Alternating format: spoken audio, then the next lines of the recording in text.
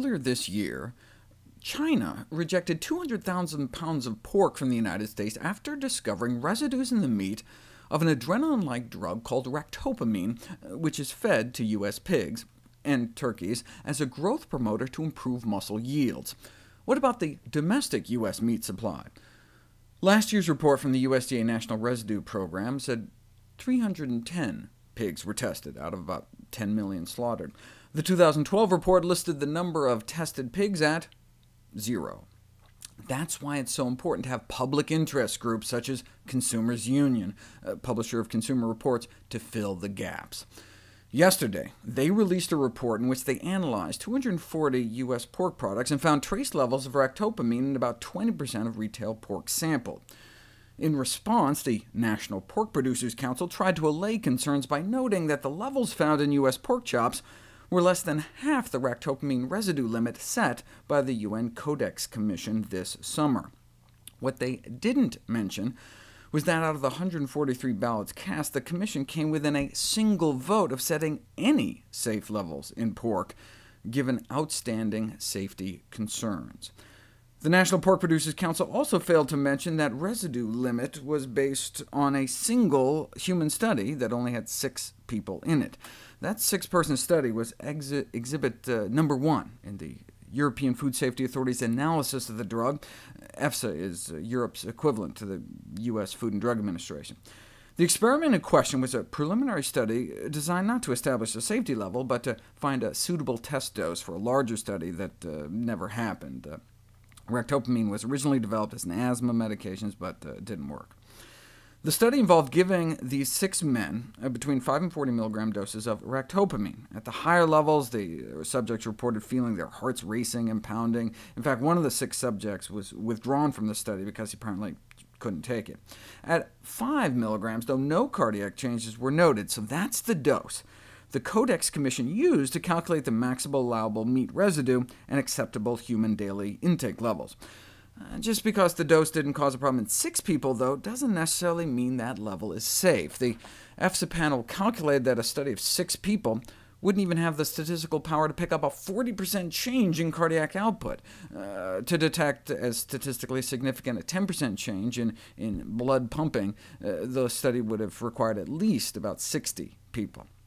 In addition, the study only looked at the cardiovascular effects of ractopamine. You know, given the adrenaline-like effects, one would expect you know, uh, metabolic effects, such as increase in blood sugar levels, muscle tremors, or behavioral effects, such as restlessness, apprehension, or anxiety. Also, all six subjects were healthy young men. What about vulnerable populations, such as children, those with heart disease or on certain medications? The panel concluded that the UN limits did not sufficiently take these higher-risk populations into account. Bottom line, the European Food Safety Authority concluded that the single small human study could not be taken as a basis to derive an acceptable daily intake, and consequently no proposal for you know, maximum meat residue levels could be made. In other words, you know, we just don't have enough human data to determine what the safe level in meat may be. Last month, the Council on the European Union joined China in reaffirming their ban on ractopamine, stressing that the you know, policy is based on persisting scientific uncertainty about the safety of products derived from animals treated with this substance, and also takes into account concerns on animal health and animal welfare. You know, studies going back a decade have shown that pigs on ractopamine uh, may have uh, chronically elevated uh, heart rates, increased stress reactions, and difficulty walking. In fact, the warning label on the drug reads, you know, caution, uh, pigs fed Paylean, uh, ractopamine, are at an increased risk for exhibiting the downer pig syndrome.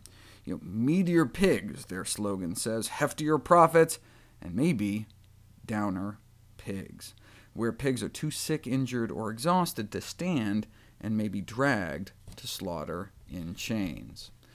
You know, it's ironic that the pork industry continues to defend the use of gestation crates for pregnant pigs on the pretext of preventing aggression between sows.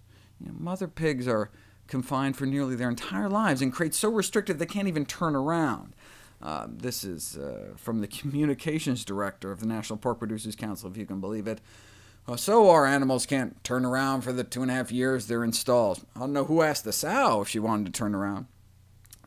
Anyway, uh, the industry claims that this is to keep them from fighting, but while at the same time feeding growing pigs a drug shown to increase aggressiveness and attacks, uh, thought to be due to changes in brain chemistry in the pigs caused by the drug.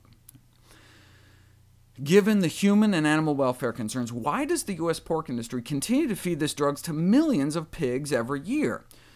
A few weeks ago, a meta-analysis was uh, published in the Journal of Animal Science. Uh, based on all the studies done to date, pigs fed ractopamine had an overall so-called carcass cutability advantage of 1.01 percentage units uh, when compared to control pigs. All this for a 1% greater yield.